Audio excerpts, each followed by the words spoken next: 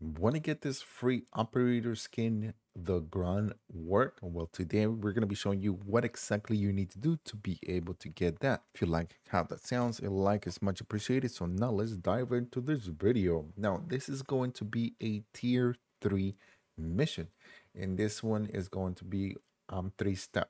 One of the things that you guys need to do is going to be pick up the charge that is close to the tunnel near the Zaya observatory. So as you see here, going with the shopper, this is where exactly you need to go. It's inside this little tunnel that before it was not open. I believe it wasn't open, but now it is. Now, as I said, this is a tier three mission and the mission is called the transporter. This is after you complete all the other different missions that are on tier three, such as shock value, joyride, lead by example, good fortune, missing person, and deadly precision. Now, this is once you get here, you go to near the Zaya Observatory inside the tunnel, you're going to pick up the charge. Now, next step is we're going to go fly over. If you have a helicopter, that will be even much better and easier.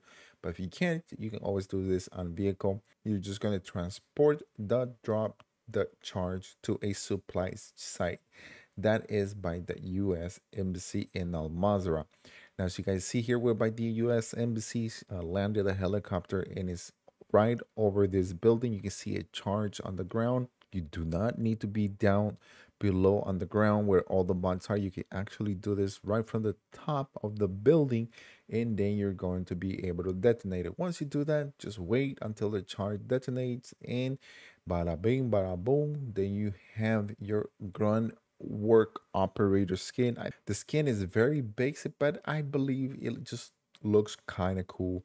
So let me know guys in the comment section if you are in this location already in the mission.